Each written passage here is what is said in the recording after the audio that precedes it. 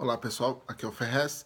Hoje eu pensei em abordar um tema que é a sobrevivência do mais ruidoso nos próprios canais da YouTube, né? Os próprios canais aí do YouTube, a gente vê que tem é, um número muito grande de acessos, principalmente os canais que a gente não encontra lógica nenhuma. É, até falei esses dias com um amigo meu, eu falei, eu tô ficando velho, de fato, né? É, é um fato também, a gente está ficando cada vez mais velho, mas tem coisa que não tem lógica nenhuma. E você vê pelo número de acessos e número de pessoas envolvidas que a gente está criando aí uma, uma massa de, de uma geração que totalmente até sem sentido também, porque até humor tem que ter sentido, né? De certa forma. Então eu pensei nesse tema aí, principalmente por causa é, que eu tive observando alguns canais e, e, assistindo esses canais e tentando encontrar humor nesses canais e assistindo até com crianças, com jovens que, que andam comigo nos projetos, na ONG e tal, aqui em casa também, né, quando minha filhada está aqui, minha filha, e, e, tentando entender esses canais, né? Você vê canais de 2 milhões e meio, 3 milhões de pessoas. Agora são canais que tem muito. É, é, aí por isso que é a sobrevivência do ruidoso, né? do mais ruidoso. Tem muito. É, apelo é, forte de, de, fofoca, de conversa que não é cultural, é, tem muito, muita gritaria, as piadas terminam no meio, assim, o, o, humor termina geralmente no meio, o humor não se completa. Então é uma coisa diferente para falar. E você vê esses canais também, até é, aproveitando para falar de ultra-direita, que a gente sempre fala, ou canais conservadores, né, como eles acreditam ser, que também tem muita gente, mas sempre tem aquele papo ruidoso, sempre tem aquela coisa de falar mal do outro, né, tem, é, nunca é uma coisa cultural, não é uma coisa que pega vocês e traz para submergir junto traz para poder pensar junto, né? É, geralmente são focados, por mais que o assunto seja política, é, realidade e tal, o assunto é, é entretenimento, é de certa forma entretenimento. Né? O cara ele, ele transmuta aquela página em entretenimento. E aí eu vou contar um exemplo de um canal que eu estava assistindo, né? Um, um, rapaz que eu estou assistindo, um, um moleque novo tal, e ele fala de temas interessantes e ele, ele resolveu fazer um curso de seis programas, né? E esses seis programas indicam livros e falam de assuntos diversos, tal, que me interessou muito. Eu até falei, rapaz, o cara novo desse, no quarto dele, né? Um cara no quarto dele, gravando ali bem humilde, um canal bem humilde também, que nem esse vlog aqui é. é o cara no quarto dele ali tinha um gatinho tal, tem um quadro atrás, e ele fala de ocultismo no programa dele. Eu comecei a acompanhar esse, esse rapaz durante esses seis, essas seis, esses seis programas aí do curso dele Vou, lembrei de olhar para cá. Uma hora eu vou acertar desde o começo. Eu lembrei, eu comecei a assistir e aí, me interessando, fui recorrer a livros que eu já tinha, fui adquirir outros livros pelo tema que ele estava fazendo. Ou seja, o canal do cara me ajudou muito, foi um canal muito útil, né? E ele gravou até o sétimo, no sétimo programa, no sétimo documentário, é, porque para mim são documentários de meia hora, embora só ele esteja falando ali, mas ele estudou muito o tema. É um cara que é, que é cristão, mas estudou um tema de ocultismo para poder falar. E aí no final do sétimo programa eu falei, puta, mó legal, vou lá, vou me inscrever, vou curtir também, né? Porque eu sempre assisti por celular. Então fui lá, me inscrevi e tal no canal dele. Quando chegou no oitavo programa, já era ele falando das perseguições que ele estava sofrendo na internet. E aí uma coisa que eu fiquei, cara, eu fiquei basbacado, porque eu vi esse cara é, perdendo tempo, e, e, ele tem que perder esse tempo da vida dele se explicando isso, porque o pessoal estava atacando ele, falando que o gato tem a ver com magia negra, que o quadro que ele tem atrás é um quadro de uma pirâmide, que ele era Illuminati, que ele era pago pelo governo. Cara, desenvolveram uma teoria em cima de um cara que estava fazendo um curso explicando um tema, até para ajudar muita gente, inclusive eu, eu tenho 43 anos, esse cara não deve ter 20 anos, e ele me ajudou muito explicando temas que eram diferentes para mim, temas que eu não tive acesso desde o começo da raiz, por exemplo, a origem da cabala, por exemplo, o início da filosofia. Esse menino, esse jovem, ele, como ele estudou o tema antes, ele pôde me orientar na leitura e orientou muita pessoa. Tem vídeo dele que tem 30, 40 mil pessoas que estão lá falando, nossa, muito obrigado, eu não sabia do início disso, eu não, eu não sabia do início dessa, desse ensinamento. Então, o cara que acabou sendo muito útil, né? Não tem esse número de views que outros canais têm falando besteira, mas é um cara que depois ele foi perseguido ali pelos comentários. Então, como que a internet ela pode né, ter esse efeito de cauda longa, assim, é um negócio muito louco, assim, né?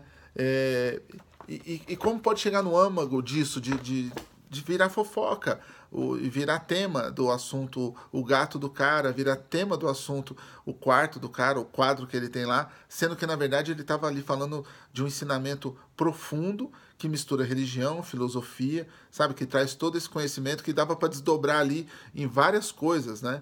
Eu mesmo fui atrás de alguns livros que eu tinha aqui que não que eu não tinha lido e que estavam parados porque precisava de um entendimento para ler esse livro. E esse rapaz trouxe, né? Esse entendimento é, se chama Guerreiro Cristão, se eu não me engano, o canal dele, é algo assim, o Cristão Guerreiro. É um rapaz que ele, ele como eu falei para vocês, ele tem uma vertente cristã e tal, um rapaz religioso, mas você vê o entendimento que ele teve sobre o assunto do ocultismo, isso reflete muito no que eu estou dizendo aqui, né? Desse, desse culto é, de, de, canais que buscam teoria da conspiração o tempo todo, até em coisas que não têm significância nenhuma. Assim. Na verdade, como as pessoas não querem se aprofundar, algumas pessoas, claro, muitas pessoas eu acho, não querem se aprofundar nos assuntos, elas acabam é, buscando essa fofoca, é, essa, essa dicotomia, essa coisa de mostrar a realidade do youtuber, em vez de mostrar, em vez de ir atrás do conteúdo, sabe? Então eu pensei muito em fazer esse vídeo focado nisso, assim. É, como que me espantou depois esse rapaz que fez um, um curso tão bom, gratuito ali na internet, sabe? Uma coisa que fala muito. E você vê que ele teve que estudar cabala, filosofia, ele teve que estudar a origem da filosofia, principalmente por Platão e tal.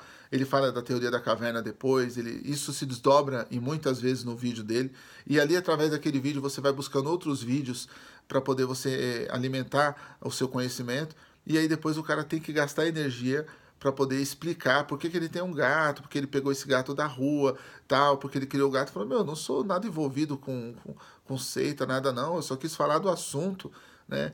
E eu vendo aquele rapaz se explicando ali, eu pensei, nossa, como a internet pode ser estranha, cara, sabe? Como que pode ser um negócio voltado para uma coisa assim que, que, que, na verdade não. É, sei lá, é, é, é muito louco assim. Você vê você vê o, o cara com, um curso pronto, uma coisa que o cara se dedicou muitos meses ali, se não anos de leitura, e depois ele tem que gravar um programa todo se explicando, né? Já aconteceu comigo aqui também de falar uma coisa ou outra, como o vídeo é ao vivo, gravado assim inteiro, não tem edição, nada.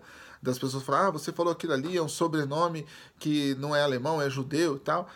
O vídeo é gravado sem edição, então não tem como corrigir, depois eu faço outro vídeo, eu comento. Agora, assim, quando o cara fala aqui no vlog que ele quer, eu entendi, ele quer que eu explique um assunto que eu, tô, que eu já falei, que nem aqui esse assunto, aí também não faço outro vídeo, cara, que eu acho ridículo você interpretar um vídeo. Sendo, o vídeo tá lá, o cara tem que assistir e interpretar. E você vai, sem interpretar um texto, né? Já é foda, mas o autor tem que falar do texto quando ele escreve. Se você escrever o texto, joga pro mundo. Eu acho que o vídeo é a mesma coisa. E esse canal aí me trouxe esse assunto. Quando eu fui abordar esse tema, e eu peguei vários livros aqui para poder falar desse tema, né? Peguei a questão do Wikipedia também, que as pessoas vão lá, colocam o que querem no Wikipedia e você vai lá beber da fonte do Wikipedia. Você não pesquisa além do Wikipedia. Então, se você só tem essa fonte de, de conhecimento também, é ruim. Pesquisei alguns outros canais também que estão sendo mais referências de que jornalistas, embora também os jornalistas sejam contaminados pelos donos da, da, da empresa, né? Então é um tema que eu, que eu pesquisei muito assim para poder falar, né? E essa sobrevivência do mais ruidoso me preocupa isso, porque se o cara faz um canal e ele tem, ele grita, ele fala foda-se, ele fala palavrão, ele tem expressões muito fortes, as pessoas às vezes tendem a dar credibilidade maior do que no assunto que é mais profundo. Como eu disse, esse canal, por exemplo, aqui é um canal que eu tenho que pegar vocês e a gente submergir junto, né? Não dá para poder fazer um assunto de, de um minuto falando porcaria, sabe assim? Então, de repente, a gente perde no número de inscritos perto desses caras tal.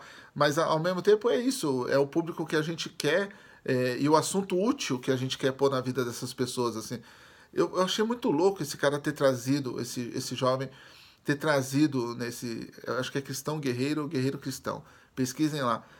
Assuntos tão importantes como ele abordou e você vê que ele é um menino ainda, e no final ele tem que fazer um vídeo explicando porque é dessas teorias. E ele fez um vídeo muito bom sobre teoria da conspiração, porque ele até põe o exemplo dele, de o que está acontecendo com ele, né? De ter que explicar. É, aqui também acontece isso. Um cara tá vendo meu vídeo aqui, ele pega o Che Guevara aqui, aí ele começa a falar, é, esse Che Guevara, esse Dostoiévski aí, não sei o quê. Tá? E ele quer pegar nos detalhes, sendo que o assunto é mais profundo. O assunto, a nossa conversa aqui nesse canal, é, cada vez eu quero que seja mais profunda. Eu acredito e tenho certeza, acredito mesmo, na inteligência das pessoas que vêm ao canal sabe? Eu acredito que as, as, pessoas ignorantes, as pessoas que não querem aprender, elas saem do canal. E as que são ignorantes, tal, ou que não têm conhecimento, não gosto de falar ignorantes, mas que não têm conhecimento, elas querem ficar no canal para aprender alguma coisa. Agora, você não poder aprofundar o assunto porque você acreditar que as pessoas são burras, ou que elas só querem rir, ou que elas não querem ser informadas. Eu não acredito nisso. Eu acho que cada um tem até seu nicho aí de público, de repente, ou, ou faz o que tem que fazer por amor mesmo, de certa forma. Eu sempre indico livros aqui no canais, sempre falam de vários temas. Se um dia eu falo de ocultismo, outro dia eu falo de, de igreja, no outro dia eu falo de política. É, a gente sempre fala de política, que é uma coisa emergente no país, também não tem como a gente se isentar. Mas eu fiquei pensando nisso, assim. O que leva um, um rapaz a fazer um documentário de, de bom coração sobre vários temas relevantes que, que as pessoas não têm conhecimento e no final ele tem que fazer um vídeo se explicando sobre outras pessoas idiotas que entram ali atacando e falando que o cara é contratado pelo governo para desinformar as pessoas é, quanto ao lado cristão tal. Cara, ridículo, assim. É ridículo. É, fala aí o que vocês acham sobre isso. Se inscrevam no canal se vocês não são inscritos, se você quiser, beleza? Dá o seu, o seu like aí. Comente o tema que eu falei. Se você acha que esse tema tem que se desdobrar mais aqui no canal também, você fica à vontade para sugerir.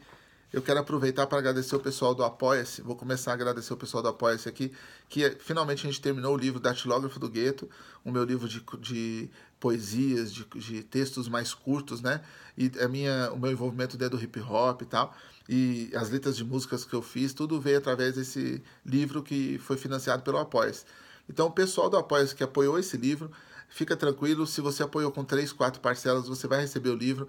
Tem gente que falou, Ferrez, eu apoiei só com um boleto de 15 reais, que né, foi ano passado, e eu não pude mais apoiar. Não tem problema, a campanha do Apoia-se está no ar ainda, mas não para esse livro mais. Né, ela está no ar para poder manter esse vlog, manter o escritório lá da Selo Povo e vocês apoiar tudo que eu acabo fazendo aí. Mas as pessoas que contribuíram no ano passado com qualquer coisa, que participaram desse projeto, é, com 15, 20 reais, às vezes cinco parcelas, seis, vai receber o livro. Fica tranquilo, porque não é por valor financeiro que eu fiz esse livro. É, e, e a ajuda de vocês, assim como você pode ajudar com duas parcelas ou uma, teve gente que ajudou com 12, teve gente que está ajudando até agora, mesmo sabendo que a promoção do livro já acabou e está ajudando no Apoia-se ainda.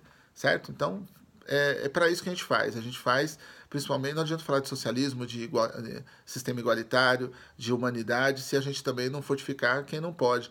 Tem uma menina que escreveu uma carta muito legal. Ela falou: Eu paguei 11 parcelas, eu sei que eram 12, mas a última eu tive um problema financeiro. Você vai receber o livro com o maior carinho, autografado na sua casa. Tá? O livro está sendo terminada a revisão agora. Fica tranquila, porque não é pelo valor financeiro mesmo. Então, teve gente que ajudou com 3, 4 parcelas, vai receber o livro. E eu vou falar o nome das pessoas que até no prazo determinado ajudaram e com algumas parcelas que seja e que vão receber o livro, tá bom? Quero agradecer essas pessoas aí. A Janaína Parde Moreira, o Diogo dos Santos, Heraldo Antônio Costa Júnior, o Eduardo Marchesan, Mirelle Oliveira, Tiago LGN e a Sandra Lima. Eu vou falar alguns aqui, no próximo vídeo eu falo outros. Tá bom? Pessoal, o vídeo eu acho que já ficou longo. Quero agradecer mais uma vez o pessoal do Apoio, a todos os inscritos que estão aí no canal e vamos aprofundar mais os assuntos. Acredito em vocês, acredito que a gente tem que ter mais conteúdo e vamos questionar de verdade até a, a, presença que a gente dá nesses, nesses canais, até a legitimidade que a gente dá para essas pessoas e quem sabe a gente consegue convencer os nossos familiares, nossos amigos que idiotice tem limite também nesses outros canais, né? Tamo junto, é nóis.